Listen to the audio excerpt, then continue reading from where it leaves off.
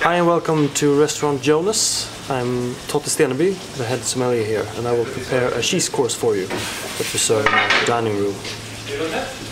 The cheese is called uh, pine bark cheese from Jürss, uh, a small dairy farm southwest of Stockholm.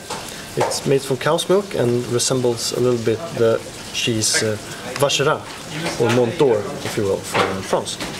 So what we've done here is we cut a piece, topped it with uh, jello raisins, hazelnuts, and pine shoots.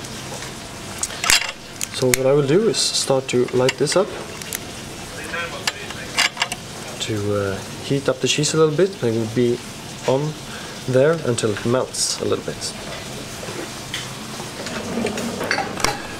To this we have a small salad dressed with uh, sherry vinegar and hazelnut oil.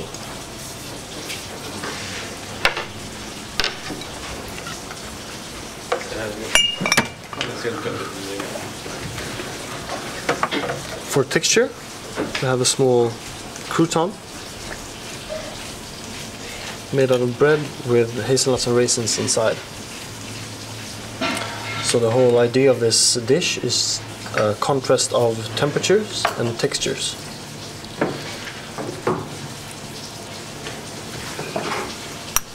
Just gonna mix the salad a little bit.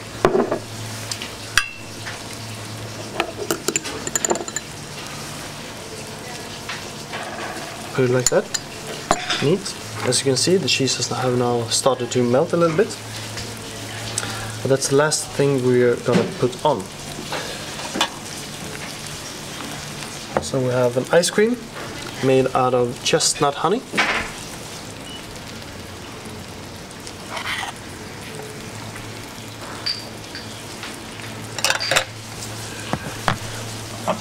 We'll top it off with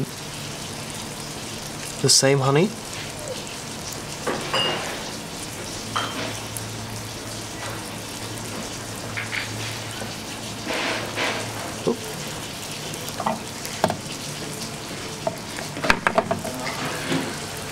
Now, as you can see, the cheese is, has started to melt.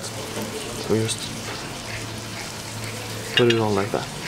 This is something that we do table side.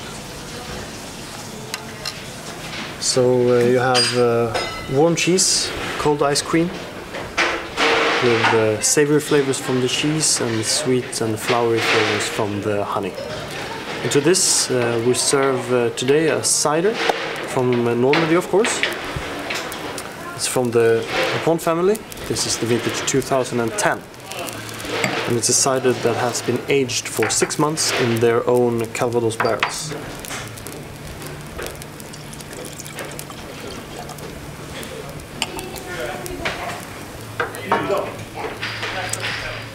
So that's how we pre prepare cheese here at Jonas. Smaklig måltid.